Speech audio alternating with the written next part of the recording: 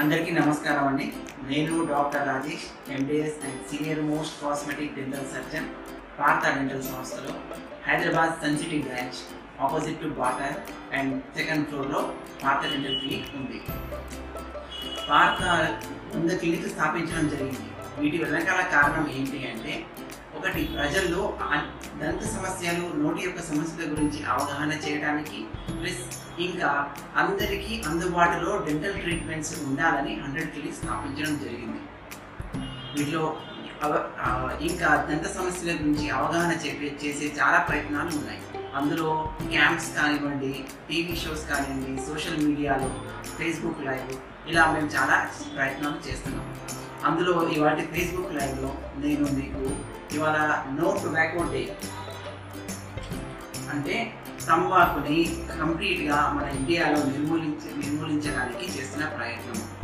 వీటిలో చాలా క్యాంప్స్ అనండి ర్యాలీస్ అనండి భారత డెంటల్ వాళ్ళు చాలా కండక్ట్ చేస్తున్నారు.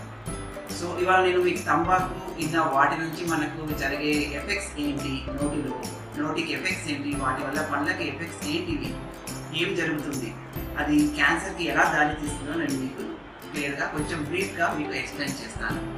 సరేనా?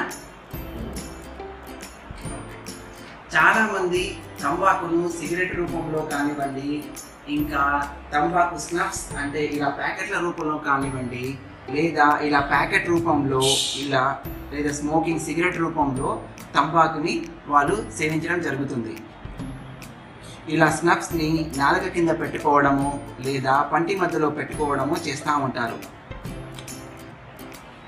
చాలామంది సిగరెట్స్ని ఒక ప్యాషన్ లాగానో ఒక స్టైల్ గానో వాళ్ళ లైఫ్ స్టైల్కి వాళ్ళు మార్చేసుకుంటారు. వాటి వల్ల కొంతమంది చాలామందికి తెలుసు వాటి ఎఫెక్ట్స్ ఏంటో. అయినా వాళ్ళు సిగరెట్ స్మోకింగ్ చేస్తారు. కొంతమందికి తెలియదు సో వారు తెలిసిన వారికి తెలియని వారికి అవగాహన కల్పించాలని ఈ ఫేస్బుక్ లైవ్ చేయడం జరుగుతుంది.